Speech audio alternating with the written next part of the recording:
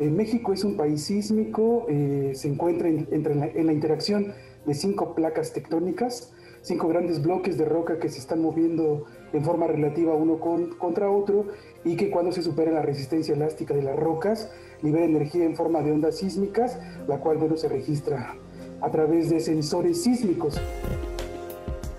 Y en nuestro país, la institución encargada del monitoreo a nivel nacional es el Servicio Sismológico Nacional.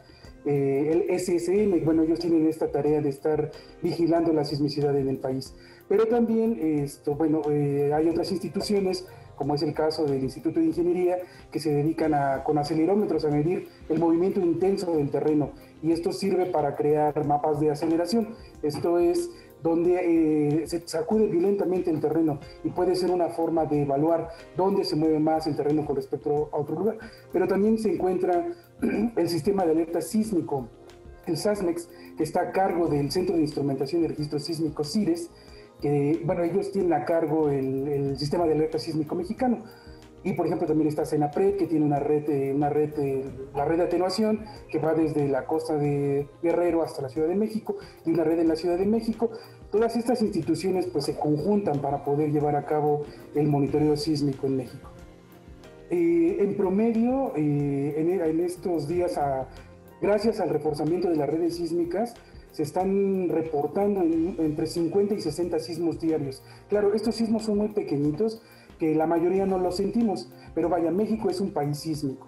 Por lo tanto, sí, debemos estar atentos a los canales oficiales como es el Servicio Sismológico Nacional, el CIRES, esto, la Coordinación Nacional de Protección Civil, el Instituto de Ingeniería, pero también es muy importante saber que los sismos como han ocurrido en el pasado van a volver a ocurrir en el futuro cercano.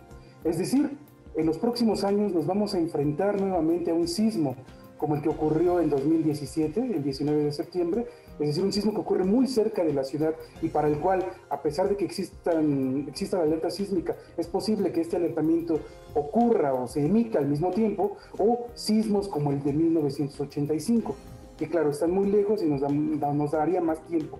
Desafortunadamente eso no lo sabemos, no sabemos cuándo va a ocurrir eh, no sé, los sismos no se pueden predecir, aunque sí sabemos cuál es la magnitud probable.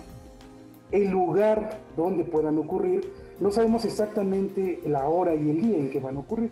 Entonces, por esa razón, debemos practicar simulacros periódicamente.